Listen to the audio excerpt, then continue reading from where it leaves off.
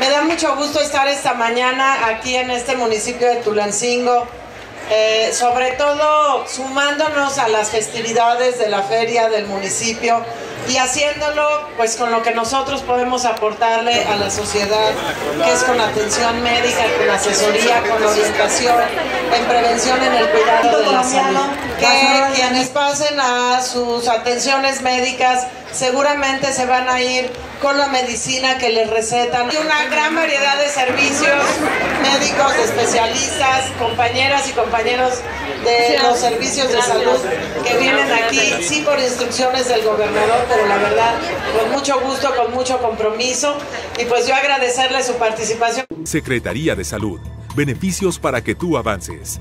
Hidalgo, tierra de trabajo.